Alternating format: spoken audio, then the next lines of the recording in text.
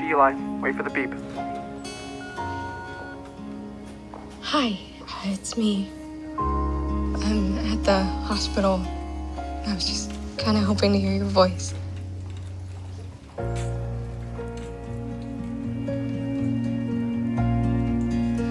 Just kind of hit me how scared I am.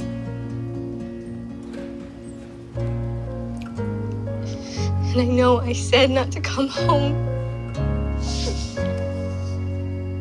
Can you come home, please? Ask and I appear. You came.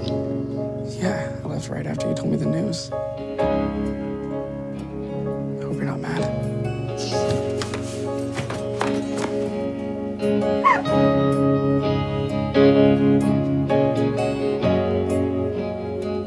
What's going on? Are you, are you leaving? Are you okay?